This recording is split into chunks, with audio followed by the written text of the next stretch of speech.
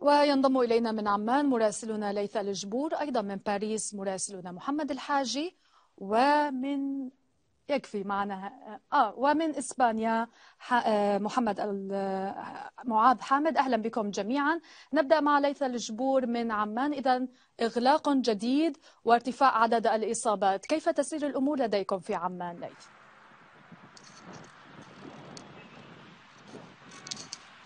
دعيني أشير في البداية أن الشهرين الماضيين كانتا أكثر الأيام ارتفاعا في عدد الإصابات مقارنة بالأشهر الثلاثة الماضية. اليوم نتحدث عن أكثر من 1500 إصابة سجلت خلال 50 يوم وهذا مرتفع وعدد كبير مقارنة بالأيام التي كانت المملكة تسجل فيها عشرات الإصابات فقط. اليوم دخلت عمان إلى آه، يعني معدل المئوية في عداد الإصابات وأصبحت الإصابات تتجاوز المئتين في اليوم. هذا ما أدى إلى أن تقوم الحكومة بسياسة جديدة أعلن عنها رئيس الوزراء وهي سياسة الإغلاق الجزئي أو الإغلاق لقطاعات بعينها لربما تكون هذه القطاعات يعني بيئة خصبة لانتشار الوباء. لذلك اتخذ القرار وتم تطبيقه ابتداء من اليوم لأسبوعين قادمين وهو إغلاق المدارس التي يعني لم تبدأ سوى آه، قبل أسبوعين. وإغلاق المساجد والمقاهي وكذلك آه، يعني الأسواق الشعبية التي كما قال الرئيس يوجد بها اكتظاظ وعدم تنظيم. اليوم نتحدث عن سياسة جديدة قالت الحكومة أنها لن تعود لسياسة الحظر الشامل لأن التكلفة كانت باهظة ولن تستطيع المملكة أن تتحمل العودة إلى ما كانت عليه حيث تضررت قطاعات اقتصادية حتى الآن غير معروف متى ستكون هناك تعويضات لهذه الخسائر الكبيرة التي لحقت بها. القطاعات الجديدة التي تم إغلاقها أيضا تطالب رئيس الحكومة بأن يكون هناك تعويضات خاصة أن هناك يعني تسريح لآلاف الموظفين بعد يعني آه، الإعلان أن الحكومة اليوم تدرس التوازن ما بين الصحة وما بين الاقتصاد. لكن الحكومة تقول أن صحة المواطن هي أهم وأن هذه هذه القطاعات التي تم إغلاقها هي قطاعات علقت فيها يعني آه، العمل وعلق فيها الدوام وسيعود. الوضع كما كان عليه عندما بعد أسبوعين في حال إذا كان تم ضبط الوباء ومنعت فرص انتشار الفيروس إلى قطاعات أخرى. ابقى معي ليث ننتقل إلى أوروبا والصورة الأوروبية عن تفشي فيروس كورونا مع محمد الحاجي من باريس. محمد إذا ارتفاع كبير في عدد الإصابات عشرة آلاف حالة. كيف سوف تتعامل الحكومة مع الأخذ بالاعتبار؟ هناك مظاهرات ضد إلغاء الوظائف وضد إغلاق جديد في فرنسا.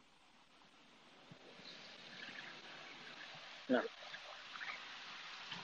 نعم 10000 حالة يوميا ما يعادل 50 أو 100 حالة لكل 100 ألف شخص وهو رقم كبير. 50 آه، آه، محافظة اليوم تخطت الخط خط الخطر المعطى من قبل وزارة الصحة لمعرفة أعداد المصابين. هناك دعوات لتوظيف أكبر عدد ممكن من الأطباء والممرضين والمساعدين الطبيين في مشافي مرسيليا على آه، سبيل المثال. هناك أيضا اليوم مظاهرات بناء على دعوات من النقابات العمالية للوقوف في وجه التسريح الذي آه، عرفته بعض القطاعات خاصة القطاعات آه، الطلابية والعمالية في زمن كورونا.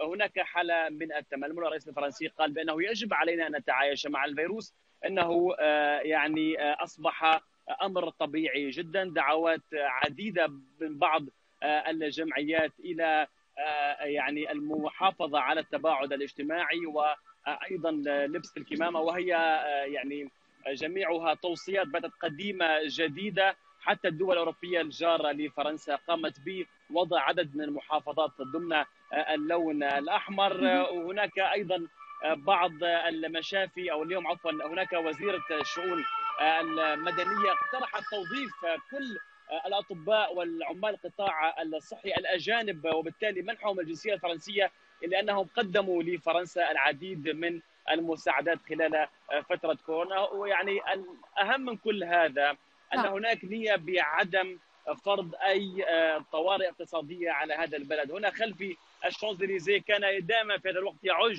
بالسياح والناس. اليوم هو شبه خالي ما عدا السيارات الداخلة والخارجة، فرنسا اليوم تتعايش و آه، بحالة ديمقراطية مع الفيروس حتى نهاية على الأقل عام 2020 ابقى معي محمد ننتقل إلى معاذ. أهلا بك معاذ من مدريد. كيف تسير الأمور لديكم؟ أيضا هل يوجد أي نية بإغلاق؟ كيف تتعايش إسبانيا مع ارتفاع حالات الإصابة والوفاة؟ في الحقيقة بعدما أعلنت الحكومة المحلية هنا في مدريد نيتها عن فرض مناطق إغلاق هنا في العاصمة بسبب التزايد الكبير في أعداد الوفيات. تراجعت في اليوم التالي عن ذلك القرار وطلبت مساعدة الحكومة المركزية في السيطرة على هذا المرض. في الوقت الحالي إسبانيا تسجل منذ ما يقارب العشرة أيام ماضية يوميا أكثر من عشرة آلاف إصابة.